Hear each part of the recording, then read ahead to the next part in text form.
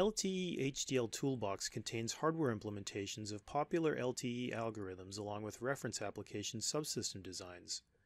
We are often asked what kind of results we get for one of these blocks or subsystems when targeted to a specific FPGA device. We qualify these blocks across a number of devices, and in the documentation for each block we publish results for a popular device, but with so many devices available we can't cover them all. So here's how to check the quality of results for your device. I will illustrate using the Xilinx and Intel workflows. The first thing is to make sure your FPGA synthesis tools are set up so you can call them automatically. This is done with the HDL setup toolpath command, which you can just put in your startup.m. First, you will need a top-level HDL code generation subsystem.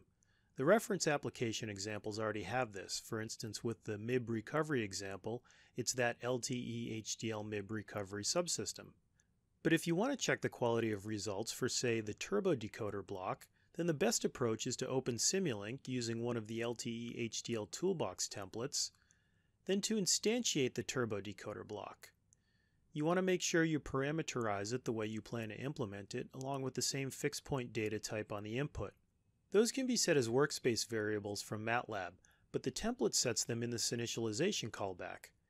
Now I can just do a Control D to update the Simulink design. The basic steps I will follow are to select my target settings, then run all the way through generating HDL and calling FPGA synthesis and implementation, and you can do this right from HDL Coder. Running through implementation produces the most accurate numbers, and then I will show you how to find those in the FPGA implementation tools. For this exercise, you can just choose generic ASIC FPGA. Then select your FPGA synthesis tool and target device. I'll start with a Kintex device. Next is the target frequency setting. For timing recovery and frequency estimation, I want to oversample my signal at 4x so I can interpolate the positive and negative peaks. So I want to run my FPGA at 4 times the LTE sampling rate of 30.72 MHz, which comes out to 122.88 MHz. This setting gives a target to the logic synthesis process, but when you go to program the FPGA, there's uncertainty in how much wire delay there will be so I'll add a 20% margin and round up to 150 megahertz. I'll just leave everything else at the default settings. Normally when I'm designing, I run these reports for quick feedback, but here I'm just taking the design as is and running all the way through FPGA implementation to get the true numbers. And this takes a few minutes, and once that's done, I can open the Vivado project by clicking here.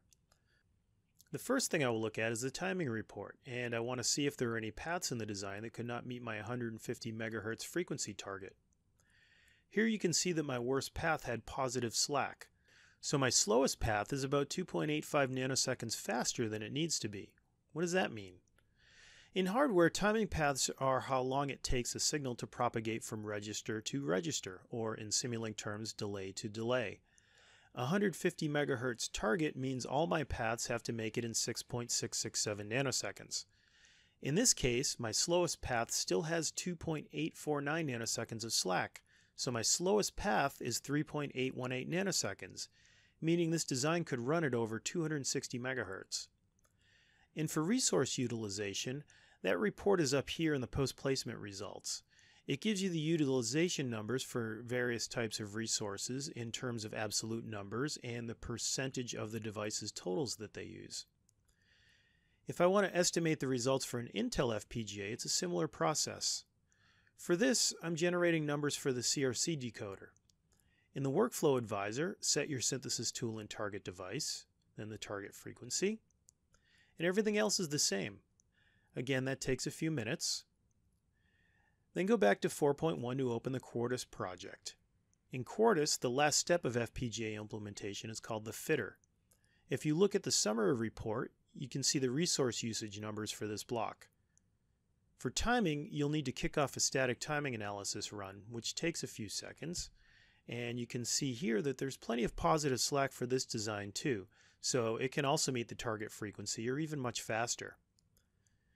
And if you're interested in an FPGA family not listed here, or an ASIC, you can just run with it set to no synthesis tool specified and run your implementation manually using the generated Verilog or VHDL, which goes into this directory. This approach will work for any of the blocks or reference examples you want to test. And if you have custom requirements, feel free to contact us and we can work with you.